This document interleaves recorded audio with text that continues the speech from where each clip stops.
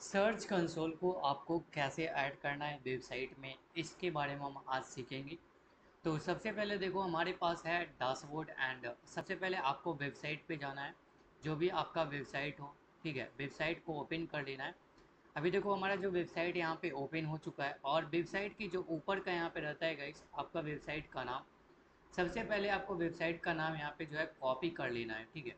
तो अगर आपने कोई पोस्ट लिखा है ऑलरेडी इंस्टॉल कर लिया है तो यहाँ पे देखो आपको दिखेगा यहाँ पे होम वाला सेक्शन इस पर आप क्लिक करोगे साइट पे विज़िट हो जाओगे और इस पर आपको दो बार क्लिक करना है और यहाँ से ये जो साइट है, इसे कट कर लेना। है तो चलिए हमने कट कर लिया। यहाँ पे गूगल पे सर्च करना है सर्च कंसोल जैसे ही आप सर्च कंसोल सर्च करोगे फ़र्स्ट में आ जाएगा ऑप्शन सर्च कंसोल का एंड इसके बाद आपको स्टार्ट करना है। यहाँ पे स्टार्ट नाव के बटन पे आपको क्लिक कर देना है। जैसे स्टार्ट नाव के बटन पे क्लिक करोगे यहाँ पे देखो हमारा ऑलरेडी ऐड है। अगर आपका ऐड नहीं है तो आपका कैसा शो करेगा? चलिए मैं आपको ग्यूस्ट में ओपन करके दिखा देता हूँ।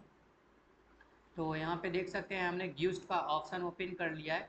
और यहाँ पे आपको सर्च करना पड़ेगा सर्च कंसोल ठीक है?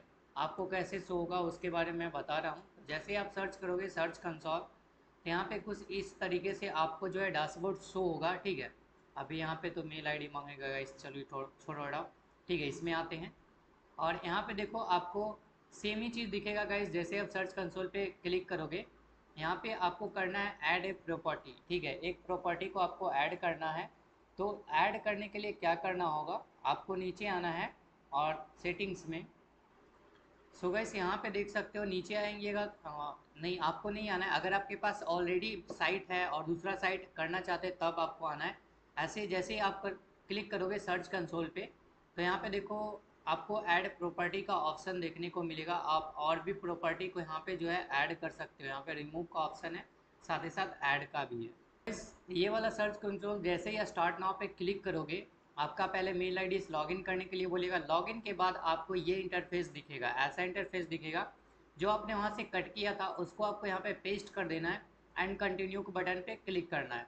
जैसे ही कंटिन्यू के बटन पे आप क्लिक करते हो, यहाँ पे देख सकते हो ओपनर ऐटो वेरीफाइड मेरा जो है ऐटो वेरीफाइड हो चुका है, लेकिन अगर आपका ऐटो वेरीफाइड नहीं होता है तो आपको क्या करना है? ठीक है तो हमने यहाँ पे प्रॉपर्टी में आ चुके हैं और यहाँ पे देख सकते हो हमारा जो है ऑलरेडी यहाँ पे सर्च कंसोल में ऐड हो गया है।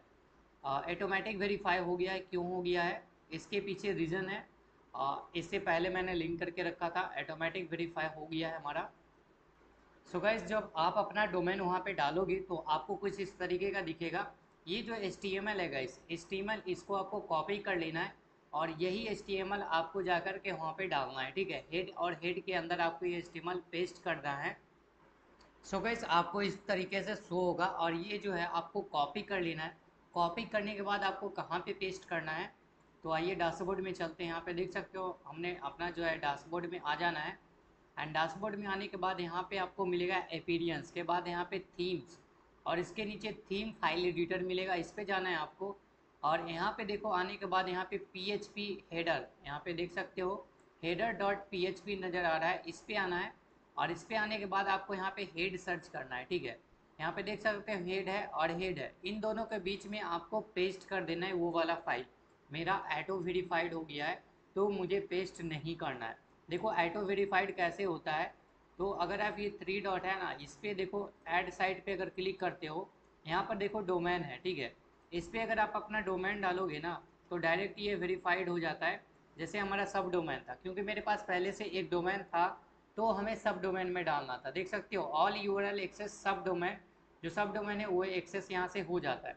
तो हमने यहाँ पे अपना सिर्फ़ वेबसाइट का नाम डालना है, और ये ऑटो वेरीफाइड हो जाता है। लेकिन अगर आपका फ़र्स्ट है और फ्रेश है तो आपको बगल वाले पेज पे क्लिक करना है और क्लिक करने के बाद जो एस टी एम एल आएगा, उसको कॉपी करके जहाँ पे अभी मैंने बताया, हेड पे आपको पेस्ट कर देना है। तो जैसे यहाँ पे कंटिन्यू पे क्लिक करेंगे, अगर आपके पास सब डोमेन है तो यहाँ पे देख सकते हो आपको लिख रहा है copy text record D N S confirmation file website ये जो कन्फर्मेशन है फ़ाइल वेबसाइट है, इसे आप कॉपी कर सकते हैं। अब यहाँ पे जो है वेरीफाई पे क्लिक करेंगे। अगर आपके पास सब डोमेन है मतलब एक डोमेन और लिए हो तब। ठीक है, यहाँ पे देख सकते हो ऑबरी के, यहाँ पे लिखा हुआ है क्या domain name provider we cannot find verification token on your txt record. Uh, we found this dns txt record. तो यहाँ पे देख सकते हो टी एक्स टी रिकॉर्ड ये फाउंड नहीं कर पाया।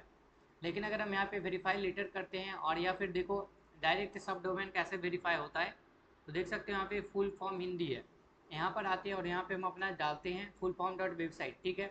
और यहाँ पे कंटिन्यू पे क्लिक करते हैं। तो देख सकते हो ownership auto verified auto verified क्यों हो गया? क्योंकि ये सब डोमेन है। यहाँ पे लिखा है वेरिफिकेशन मेथड है H file to stay verified don't remove verification file to avoid losing verification you may want to add multiple verification method setting और ओपनरशिप वेरिफिकेशन में. अगर आपका वेरिफिकेशन फिर भी नहीं होता है तो आपको यहाँ पे सेटिंग्स में जाना है. और यहाँ पे देखो ओपनर वेरिफिकेशन लिख रहा है. यहाँ पे लिख रहा है कि यू आर ऑलरेडी वेरीफाइड ठीक है?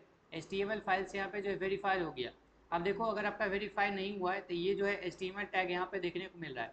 इसे कॉपी कर लेना और यहाँ पे देख सकते हो हेड है। हेड के पहले भी लगा सकते हो या फिर हेड के बाद भी लगा सकते हो। मतलब हेड के बाद नहीं, यहाँ पर लगा सकते हो। तो चलिए हम हेड के शुरू में यहाँ पे लगा देते हैं और हमने यहाँ पे लगा दिया है, ठीक है? अब यहाँ पे लगाने के बाद क्या करना है, आपको अपडेट फ़ाइल पे सीधे क्लिक कर लेना है। एक बार हम इसे नीचे कर देते हैं और यहाँ पे जो है अपडेट फाइल्स पे हम क्लिक कर देते हैं। फ़ाइल एडिटेड सक्सेसफुली अब यहाँ पे फ़ाइल एडिट हो गया है गाइस अब यहाँ पे देख सकते हो, हमारा जो, यहाँ पे जो भी मैंने पोस्ट लिखा है, वो यहाँ पे इंडेक्सिंग के लिए आ जाएगा. यहाँ पे टेस्ट लाइव यूआरएल पे क्लिक करोगे, यहाँ पे थोड़ा देर वेट करना पड़ सकता है, लगभग तीस मिनट या फिर एक घंटे तक. ठीक है, उसके बाद आपका जो साइट है गूगल पे दिखने लगेगा सर्च होने लगेगा.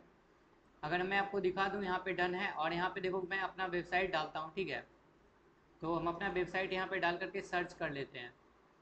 तो हमारे पास और भी वेबसाइट हैं तो वेबसाइट देखते हैं कि हमारा जो वेबसाइट है वो लाइव हो चुका है या फिर नहीं हो चुका है।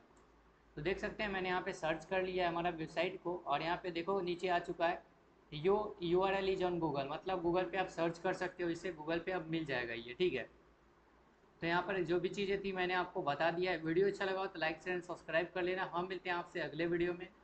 और एक बात गाइज़ जब भी आप पोस्ट लिखो, तब भी आपको यहाँ पर आकर के जो अपना पोस्ट का लिंक है, वो डालना है। और ऐसे डाल करके यहाँ पे रिटर्निंग गूगल होगा। उसके बाद रिक्वेस्ट इंडेक्सिंग पे आपको क्लिक करना पड़ेगा।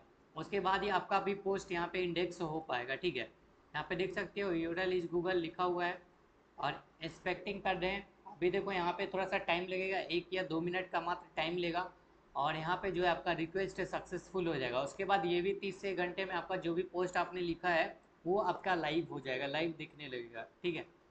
तो मिलते हैं अगले वीडियो में, तब तक के लिए वीडियो अच्छा लगा लाइक एंड सब्सक्राइब कर लेना।